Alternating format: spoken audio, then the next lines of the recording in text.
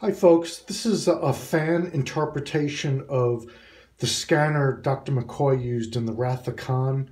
You could see it being used on Scotty's nephew after he was uh, mortally wounded.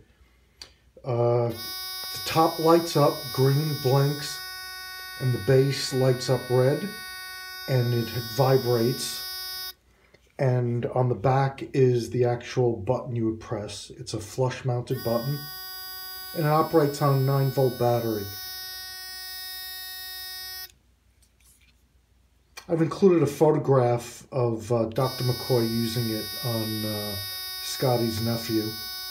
So you probably never seen something like this. It's fan built and they did a nice job. Good luck.